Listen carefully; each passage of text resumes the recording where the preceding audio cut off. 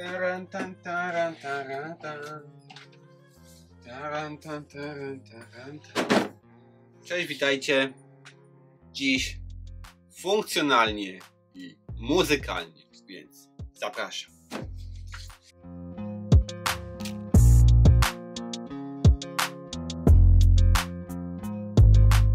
Tak jak wspominałem, dziś długo oczekiwana premiera.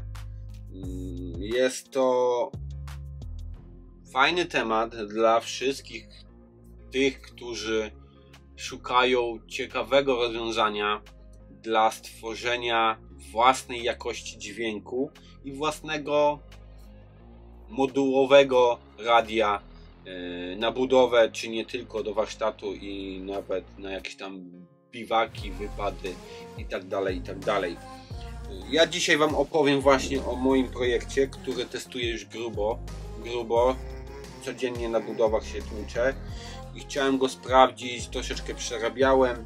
Myślę, że to nie będzie pierwsza modyfikacja, y, jaką wykonam, więc myślę, że jeszcze coś tam na pewno będzie w przyszłości robione. Planuję jeszcze zrobić podobne radio na innych podzespołach, na takich standardowych, by po prostu każdy mm, zwykły człowiek mógł krok po kroku właśnie stworzyć takie fajne radio z dostępnych części, czy na Allegro, czy na Ali i tak dalej, i tak dalej, więc to będzie taki drugi etap, ale o tym będzie inny odcinek.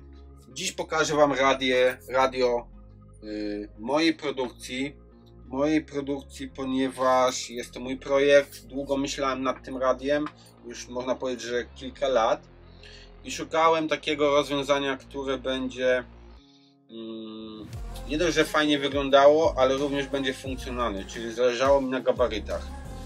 Długo szukałem takiej skrzynki, która będzie naprawdę bardzo fajna i wygodna i padło na skrzynkę od Kistenberga. Nie dlatego, że to Kistenberg. Yy, mogłem zrobić to również yy, w Kubricku, na przykład Pro 500, lecz niestety ta skrzynka jest większa. Większa i cięższa, a mi zależało na fajnych gabarytach, na uniwersalności i wadze, ponieważ y, te ko- podzespoły, które włożyłem do środka też troszeczkę ważą, więc po prostu zależało mi na tym. No i zależało mi również na mm, rozłożeniu tych głośników, żeby to fajnie wszystko wyglądało. Dlatego padło właśnie na y, skrzynkę od Kistenberga. Jest to najmniejsza skrzynka z serii y, X-Blocka. Jest mała, poręczna, lekka i można fajnie sobie te głośniczki zagospodarować. No co, co widzicie na efekcie końcowym. Myślę, że naprawdę bardzo fajnie się to y, komponuje i wygląda. Jeżeli chodzi o y, sam projekt, długo myślałem właśnie, gdzie porozmieszać te głośniki, żeby po prostu nie dość, że fajnie to wyglądało, ale również to było funkcjonalne i efekt końcowy był naprawdę wow, bo nie sztuko jest włożyć głośnik koło głośnika i to będzie sobie grało. Będzie grało, bo grało. Chodzi o to, żeby to rozmieszczenie było jak najbardziej symetryczne, żeby zgrać y, głośniki syczkowe z basowymi i tak dalej, i tak dalej, ale to jest taka, można powiedzieć, wyższa szkoła jazdy. Oczywiście każdy może wybrać swoje parametry głośników, swoje radio i tak dalej, i tak. Ja w to radio włożyłem mojego starego boomboxa, którego miałem i tak wywalić na gabaryty, a dzięki temu dałem mu drugie życie, drugą szansę i powiem Wam, że jestem zadowolony. Choć tak jak mówiłem, mogłem kupić gotowe podzespoły i złożyć takiego składaka i również by był efekt spoko, ale o tym będzie właśnie e, w innych filmach. Planuję właśnie zrobić coś dla tego, coś dla Was, żebyście zobaczyli i mogli zrobić tanim kosztem również fajny e, po prostu taki grajdołek, co nie? To można powiedzieć, że jest lepszy niż grajdołek, bo mm, jeżeli chodzi o jakość dźwięku, no to jestem uczulony, więc to naprawdę bardzo dobrze gra. Więc tak to wygląda. Mm, Radio bardzo stare, jeszcze kupione z zagramanicą kupę lat temu, więc stare, ale jare. Mamy tutaj pilota z radiem, więc też fajne. Mamy tutaj kilka funkcji.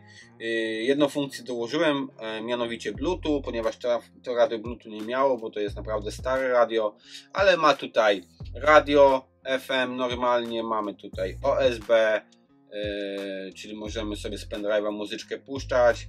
Ja podłączyłem e, akurat tutaj pendrive'a również. Można tutaj AUXa, czyli mam Bluetooth podłączone i mamy tutaj jeszcze opcję, mieliśmy opcję płyt, której już nie używam, opcję kaset. Jest taka opcja, żeby podłączyć coś pod to. Ja tego nie, nie użyłem i mam tutaj jeszcze karty pamięci, więc naprawdę sporo tych parametrów. Każdy może wybrać coś dla siebie.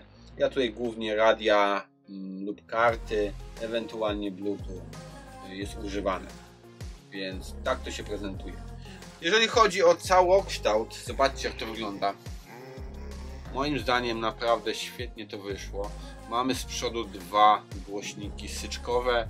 Mamy tutaj wyświetlacz wycięty z boomboxa. Oczywiście logo musi być. Y, głośniczki są kratką maskującą zabezpieczone po to, by po prostu jak jakieś tam wióry, kawałki drewna uderzą, żeby nie uszkodzić membrany. Mam tutaj zastosowane głośniki y, ze starej wieży. Są to y, głośniki już membranowe na gumowej membranie. Dzięki temu tutaj jest wodoszczelna, tutaj nic się nie leje, nic się nie dzieje. Od tyłu mam tutaj wyloty powietrza do głośników, naprawdę fajnie to dmucha i z drugiej strony również Y, głośnik basowy. Więc tak to wygląda. Mamy tutaj również włącznik zasilania i mamy tutaj y, czytnik, jakie mamy napięcie w akumulatorze. O tym za chwilę wspomnę. Od góry mamy antenę składaną.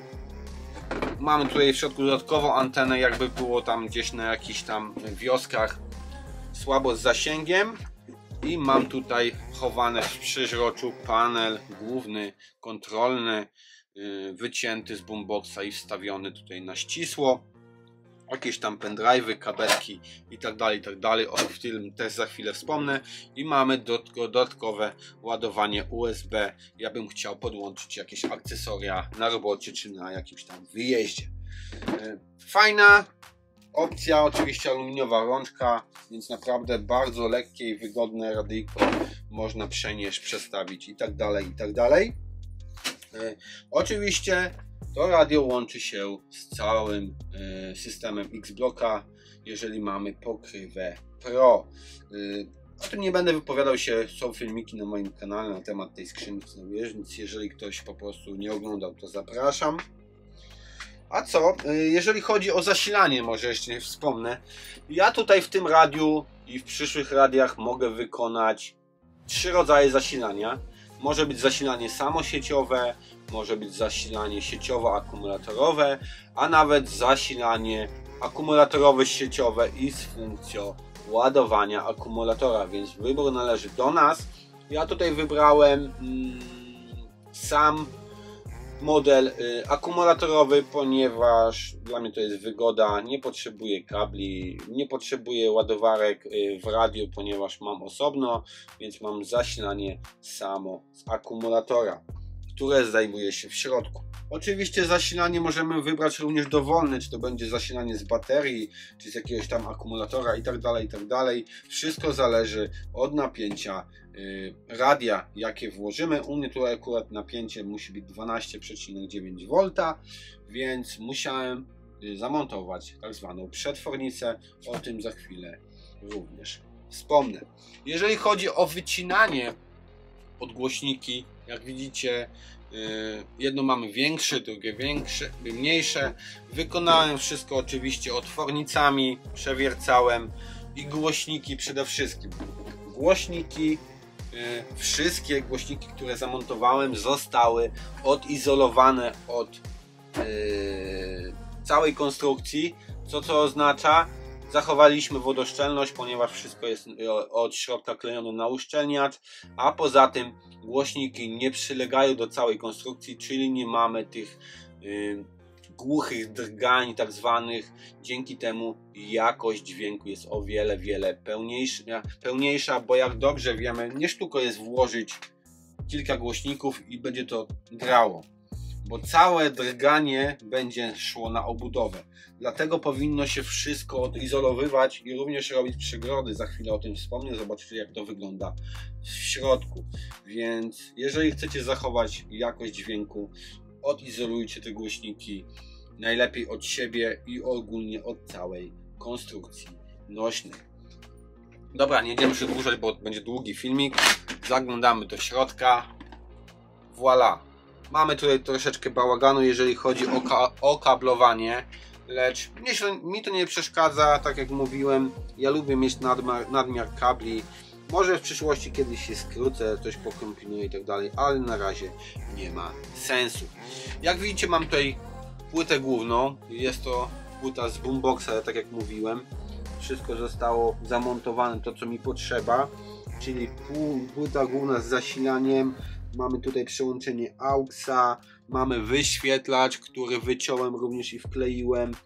Mamy tutaj zamontowany Bluetooth, które zostało dokupione i mamy tutaj w środku zasilanie. Zasilanie, jak widzicie, mamy tutaj adapter, który wkładam tutaj baterię. Ja akurat mam swój model na baterię DeWalta może, oczywiście może być też również na Dedry i tak dalej. Adaptery możemy zakupić y, na tomdrugsklep.pl u Tomka. Pyk. I nam bateryjka siedzi. A tutaj w środku mamy przetwornicę. Przetwornicę, która z 18V daje nam napięcie 12,9 co nam zasila całe radio. Oczywiście musicie sobie sprawdzić, jakie jest napięcie radia, najlepiej miernikiem przed tym właśnie jak będziecie montować zasilanie.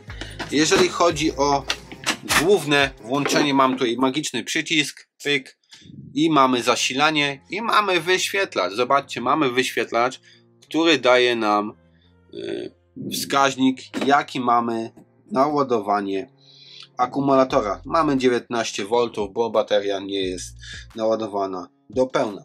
Czyli w tym momencie radio nam gra. Jeżeli nie chcemy radyjka słuchać, wyłączamy zasilanie główne i po prostu nie ma.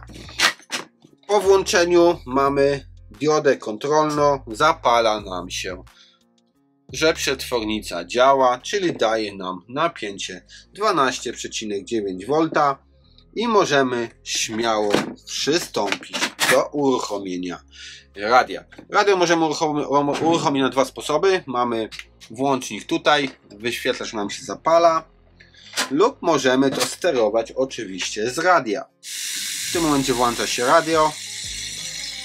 Włączymy przez funkcję yy, włączymy U, OSB może USB, nie OSB i włączymy jakąś muzyczkę żebyście sobie posłuchali jakość dźwięku. Na pewno nie będzie to jakość dźwięku y, z mikrofonu to co profesjonalnie, lecz myślę, że będzie coś niecoś słychać.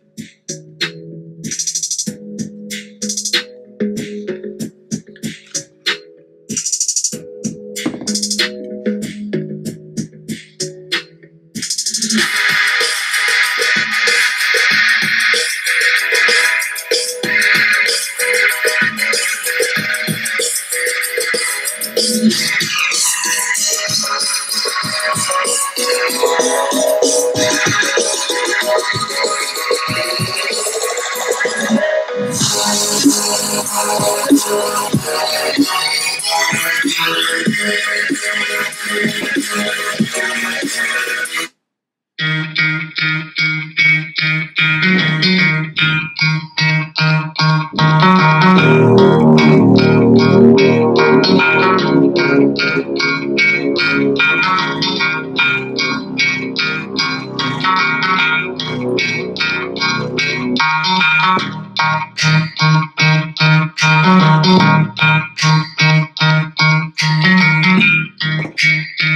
Basik jest naprawdę konkret.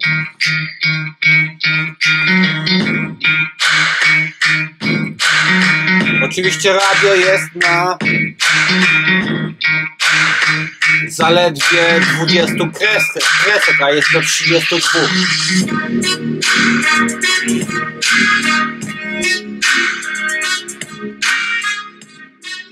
Jakość dźwięku jest naprawdę bardzo, bardzo dobra. Jak na samoróbę. Yy, może wyłączymy na razie radyjko. Wyłączamy. Zaraz nam zgaśnie. O, wyłączymy tego. Dobra, weźmiemy zasilanie główne. Wyłączymy. Jeżeli chodzi o głośniki. Zobaczcie, mam zrobione przegrody Tutaj mamy jeden głośnik basowy, tutaj mamy drugi głośnik basowy, a tutaj z przodu mamy również syczki, które zostały zabudowane, zobaczcie.